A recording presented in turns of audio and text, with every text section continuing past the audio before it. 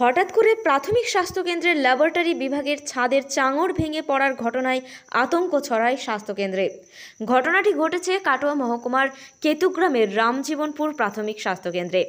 আজ সকাল সাড়ে দশটা নাগাদ কেতুগ্রামের রামজীবনপুর স্বাস্থ্যকেন্দ্রের আউটডোর বিল্ডিং ও ল্যাবরেটরি বিভাগে টেকনিশিয়ান কয়েকজন রোগীর রক্তের নমুনা সংগ্রহ করার সময় হঠাৎ করেই দুর্ঘটনাটি ঘটে। স্বাস্থ্যকেন্দ্রের ল্যাবরেটরি বিভাগের ছাদের একটা অংশ ভেঙে পড়ে। এই দুর্ঘটনা প্রসঙ্গে রামজীবনপুর স্বাস্থ্যকেন্দ্রের ফার্মাসিস্ট রাজেশ মণ্ডল জানান। তো কি বলবেন আপনি?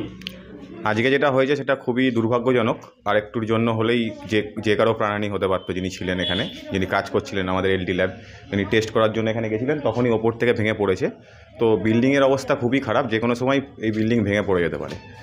তো প্রশাসন আশ্বাস দিয়েছে দ্রুত ঠিক করার জন্য। দেখা যাক কতটা কী হয়। কি নাম আছে আপনার? আমার নাম রাজেশ মণ্ডল আমি ফার্মাসিস্ট এখানে। রামজীবনপুর প্রাথমিক স্বাস্থ্যকেন্দ্রের ছাদের এক অংশ ভেঙে ঘটা আকস্মিক দুর্ঘটনায় অল্পের জন্য বিপদের হাত থেকে রক্ষা পায় ল্যাবরেটরির টেকনিশিয়ান সহ উপস্থিত রোগীরা। এই ঘটনার পর রামজীবনপুর প্রাথমিক স্বাস্থ্যকেন্দ্র জুড়ে আতঙ্ক ছড়ায়। কাটোয়া শহরের অন্যতম প্রাচীন ব্যবসায়ী প্রতিষ্ঠান, new Shri Gouranga tea store.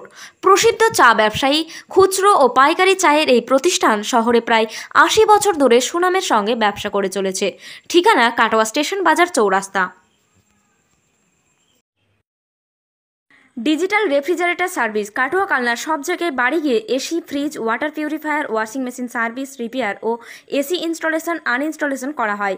যোগাযোগ করুন nine five four seven two six five double zero three Belerhat, Purba Bardhaman.